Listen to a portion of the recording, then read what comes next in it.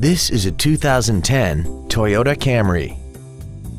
This four-door sedan has an automatic transmission and an inline four-cylinder engine. Features include a sunroof, alloy wheels, cruise control, a CD player, a driver's side impact airbag, air conditioning, full power accessories, a rear window defroster, a keyless entry system, and this vehicle has less than 47,000 miles. With an EPA estimated rating of 32 miles per gallon on the highway, fuel efficiency does not take a back seat. We hope you found this video informative.